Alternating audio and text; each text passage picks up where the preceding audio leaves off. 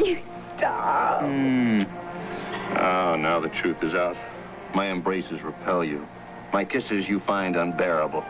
I find that your kisses and your embraces make it very difficult to concentrate.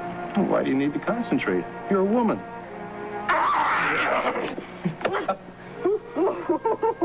Sorry about that. Now then, we sent out so many invitations to this party. I have got to remember every single name on that list. Why don't you just use your original list? I threw it away after I sent out the invitations. Then was when you needed the concentration. I know. However, I've got to go and talk to every single person personally or call them on the phone because with the Christmas mails the way they've Wait a minute, wait. I have a better idea. When you reconstruct this little list of yours, why don't you just send out a new invitation telling them to please disregard the previous invitation? How's that? Hmm? Huh? As I was saying, with the Christmas mails the way they've been lately, nobody will ever get their invitation in time. I'm doing the only practical thing. I guess that I uh, just don't affect you the same way that you affect me. You see, I find it very difficult to concentrate and do work when you're this close. I hate to seem compulsive, but you're coming between me and my work. Ah.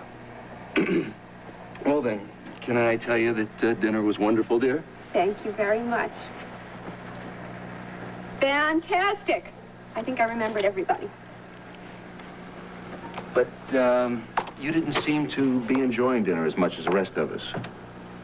I was self-conscious. Self-conscious? Yes, I felt as if David was watching every move I made. Hmm. I didn't notice. But the fact is, I don't see how he possibly could have been. I mean, he spent almost the whole evening talking to Laura about her Christmas vacation. Wonderful, suggesting that she get a group of friends together and go to Lake Placid for a skiing weekend.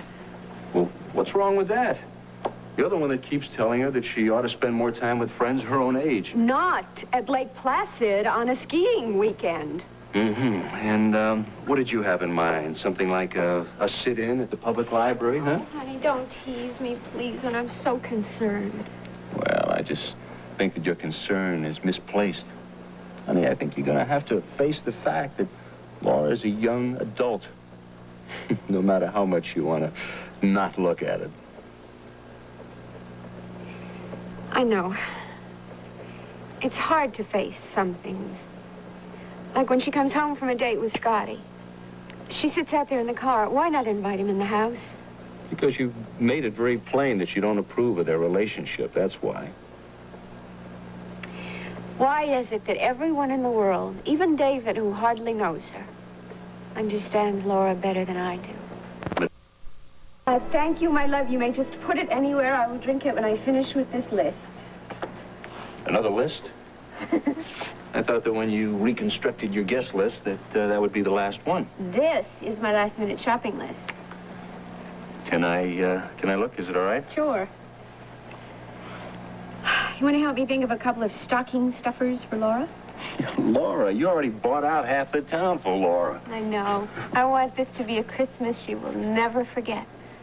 The first one with the three of us together. Well, I, I can't think of a thing. I saw a nifty little wallet the other day that I was going to buy on the spot, except I couldn't remember whether or not hers was in good shape. Why don't you just ask her? That is not the way it's done. I'll wait until her back is turned. Check her purse. You what? It's all right. This happens to be Christmas. Christmas is a time for secrets. Mm-hmm. We can take out time from playing house for a short question and answer period.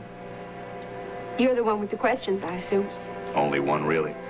I just want to know why you were so cool to David tonight. Uh, You invited him in for coffee and dessert, and then you hardly spoke to him. I really hadn't gotten over finding Laura alone in his room with him yet. Honey, I, I think you're taking something quite innocent and blowing it all out of proportion. After all, Laura's just a couple of years older than David's daughter was. She's a very pretty girl who thinks of herself as a mature, sophisticated woman. I don't care if David's an Eagle Scout. I don't like her sneaking down the back stairs to be alone in his room with him secretly. Darling, poor David explained to you again and again that it was secret because they were going over Christmas ideas and Laura was helping him. And they couldn't have done it in the kitchen. Well, I think you explained to David how you feel. He's not an insensitive guy, you know. Well, if I did, maybe that's good.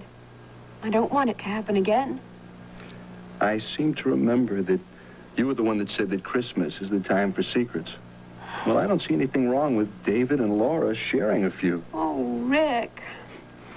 Now I've completed that molehill. Let's see if I can get this into the kitchen without making a mountain out of it.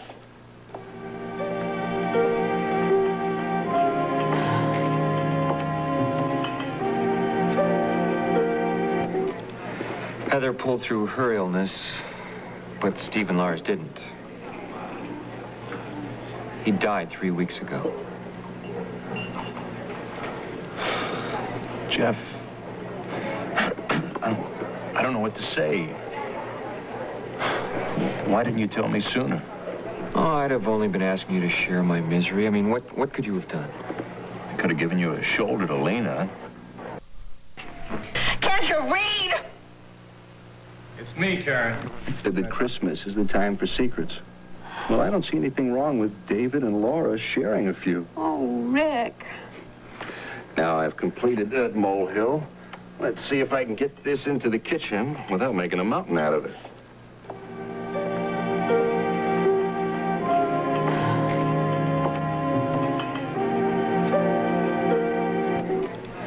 Heather pulled through her illness, but Steven Lars didn't.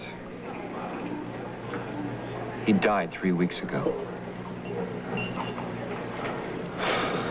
Jeff, I don't, I don't know what to say. Why didn't you tell me sooner? Oh, I'd have only been asking you to share my misery. I mean, what, what could you have done? I could have given you a shoulder to lean on. It would have been too late for the kind of help I needed. You know, in a way, I blame myself for what happened. If I hadn't let her go, or, or if I'd gone to New York after her right away, my son might still be alive today. Well, everything's fine. Except I'm beginning to wonder if inviting David Hamilton to recuperate at the house was uh, a good idea. Mm-hmm. Well, I didn't think that was such a good idea in the first place. Well, I, I guess that it hasn't been easy on Les. Well, I'd resent it, too, if uh, I were newly married and was presented with an invalid guest. No, no, it's more than that. Lesley is suspicious of, of every move that he makes. I don't know. Maybe she just got too much on her mind with, with trying to straighten out her relationship with Laura.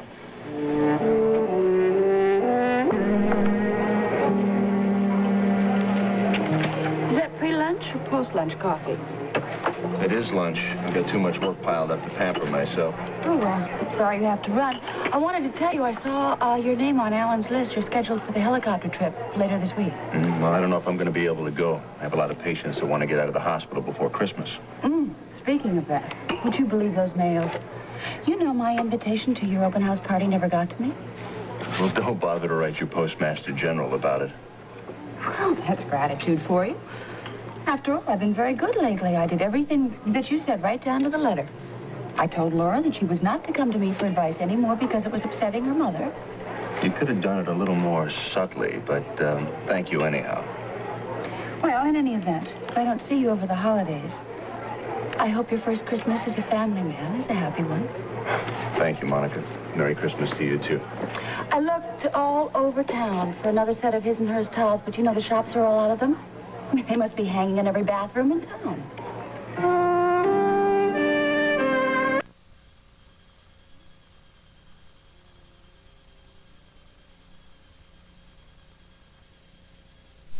The fact of the outlandish request that you're making. Ah, okay, okay. I will do my best to discourage Laura for coming to me for advice, for good advice. Thank you. However, I knew that there was going to be a however.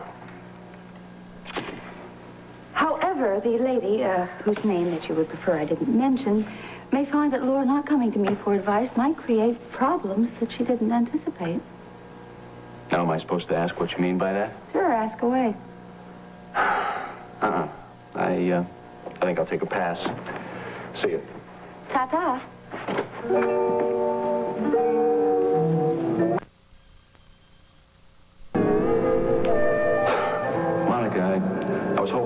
Hoping that you'd make this easy.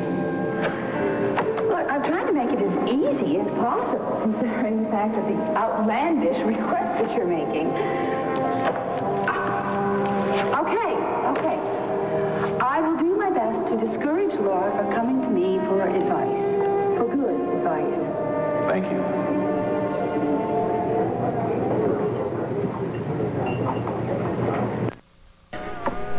So, what are you up to?